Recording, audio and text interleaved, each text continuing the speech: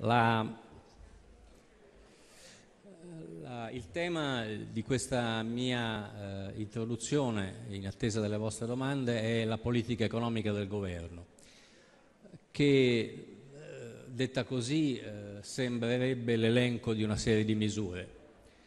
Eh, menzionerò alcune misure, ma cercherò soprattutto di spiegare qual è la logica complessiva della politica del governo e della strategia del governo.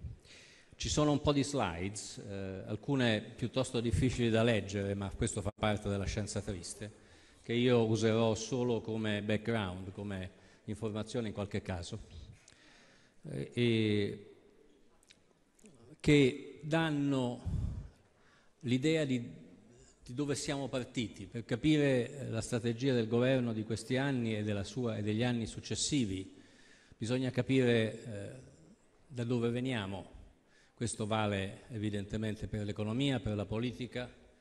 L'analisi storica come possibilità di guardare al futuro è indispensabile.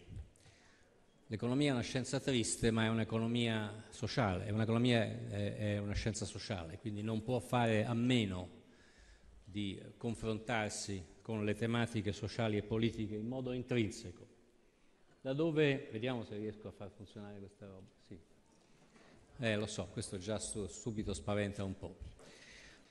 Questo shock negativo, che è la conseguenza di una crisi eh, molto profonda che ha colpito l'Europa, la versione europea della grande crisi finanziaria, che ha coinvolto molti paesi della zona euro, la Grecia naturalmente, ma anche l'Irlanda, la Spagna, il Portogallo, ha coinvolto anche l'Italia